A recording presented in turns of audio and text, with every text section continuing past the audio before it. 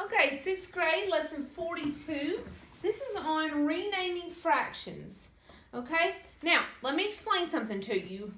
Up to this point, we have learned that this is the same as this and the same as this. Right? Yep. So this is one half, this is two fourths, this is four eights, okay? And they all equal a half, right? It's just how I cut it differently. Four out of eight equals half on this one, two out of four equals half on this one, and one out of two equals half on this one, right? Okay, just like we've taken four eighths and reduced it to equal one half, now you're going to learn how to not do the opposite of reducing, which is making it bigger or more, okay? So if I took 4 eighths and reduced it, how did I reduce it? By reducing it. How do Or you like- reduce? Uh, 4 kind eighths. of like dividing, but not. Yes, I divide by, let's divide by the highest number that will go into both of those. Divide by 4 over 4, and 4 divided by 4 is 1, 8 divided by 4 is 2. Okay? How we're going to make it, instead of reduced, we're going to make it increase, which is the opposite of reducing. And since you divide it by 4, guess what you're going to do this time? Multiply. it. Okay, so let's take one half and multiply it by two on both of them. One times two is two, two times two is four. See how taking the numbers one and two, one half, and when we multiply, it makes the numbers bigger, two fourths, right? Yeah. But it's actually making the slices smaller. Do you get it? Mm-hmm. Because four slices makes each portion smaller versus two slices, right? Yeah. Okay, so that's just kind of a brief overview of what you're going to be learning to do. Okay? So, they're wanting us to write a fraction, one half, and they want the denominator to be, instead of a 2, they're wanting it to be 20. Okay, so you have to think in your head, what can I multiply this by? The same number here and the same number there, that would give me 20 on the bottom.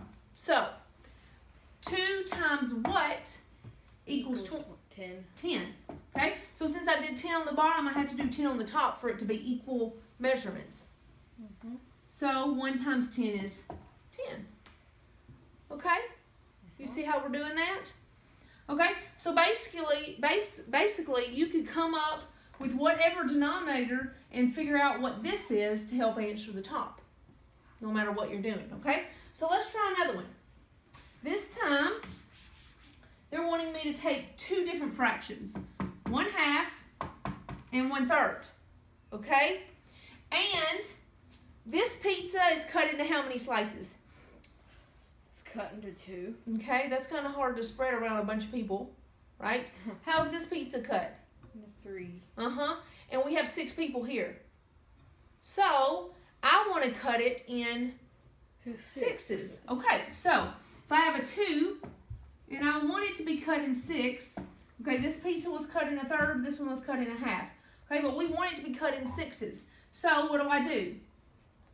We multiply it by three. Three. Three on the bottom, three on the top. Two times three is six. One times three is three. So I would cut it in six slices, and that would be half. Three six would be a half, right? Mm-hmm. Okay, let's try this one. From here, three times what equals six? Two. Two.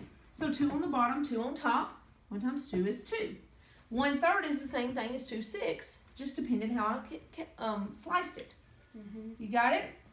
All right, now they're wanting to take these two new fractions that we created and add them. So 3 6 plus 2 6 is What?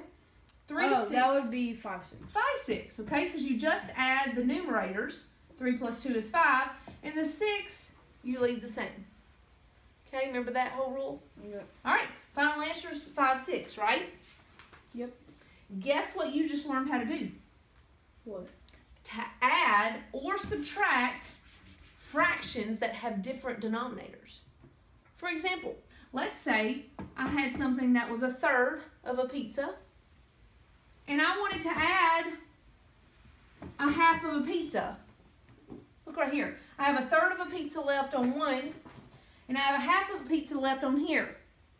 But I want to know how many I have total. Well, that's kind of hard to add mixed measures because look, Eli, I can add my numerators 1 plus 1, but can I add my denominators 3 plus 2? No, they have to be the same.